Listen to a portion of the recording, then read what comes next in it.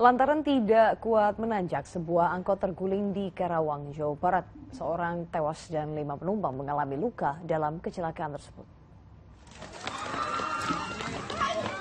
Dalam video amatir terlihat sejumlah warga berlari berusaha menyelamatkan penumpang angkot yang terguling di Desa Kutamane, Tegalwaru, Karawang, Jawa Barat. Angkot yang mengangkut belasan penumpang terguling setelah tidak kuat menanjak.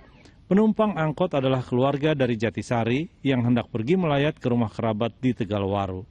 Akibat kecelakaan, seorang penumpang angkot tewas, sedangkan lima lainnya mengalami luka-luka sehingga langsung dibawa ke puskesmas. Angkot tersebut tidak kuat tanjak, karena tanjakannya curam, sehingga angkot tersebut Kembali.